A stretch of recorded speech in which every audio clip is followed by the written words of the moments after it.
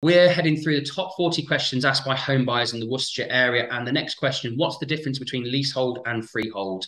So we'll start with freehold. It's slightly easier to describe and explain. Freehold is fairly typical for most homes. It would mean that the homeowner, person that owns the property, owns the land that their property sits on.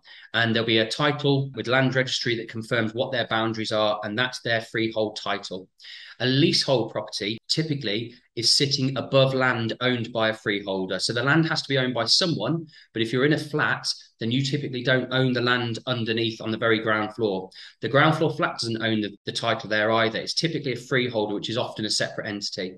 Now, if you are in a leasehold premises, there are things to consider. Firstly, there's a term of that lease. So your lease will be for a period of time. It can be anything from really typically they're above about 60 years nowadays. You do have some that are less than that, which is where your solicitor will probably advise you can be concerning for a lender and also for them. But you're finding that most leases are going to be 70 years plus. They get issued at the very beginning with the new builds at around 125. You sometimes get 999 or you get 99 years on those leases. Don't need to worry too much about those leases unless they are getting less than 60 years. That's where you'll find that most lenders have concerns and your um, solicitor can advise you on that.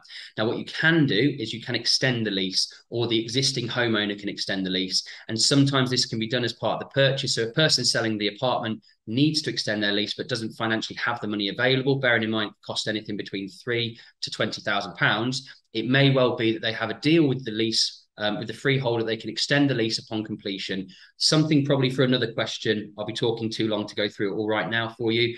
But the difference between leasehold and freehold, if you leasehold, you don't own the land that you're sat on. You're paying a freeholder a rent, a ground rent for that. But if it's a freehold, it's the title is yours, the land that it sits on is yours as well. Hope that helps. If you have more questions, if you want to delve a bit deeper with this one, then get in touch in the comments and we'll be happy to assist.